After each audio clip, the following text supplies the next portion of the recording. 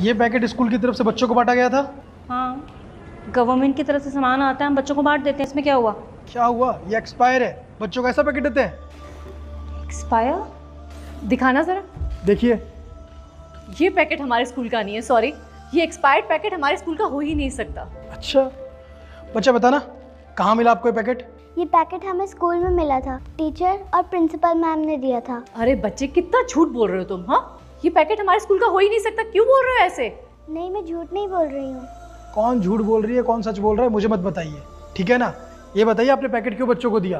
अरे आप है कौन? आप ये बताइए स्कूल प्रेमिसेस में घुस रहे हैं रूल्स और रेगुलेशन के अगेंस्ट हाँ लुंगी पहनकर सिक्योरिटी इनको बुलाइए धक्के मार के बाहर निकालिए इनको। सुनाई नहीं दिया? मैम ने कुछ पूछा ना? कौन है तू? यहाँ क्या कर रहा है? बता। मेरा हक है जानना आप बताइए मुझे। तेरा हक है हाँ?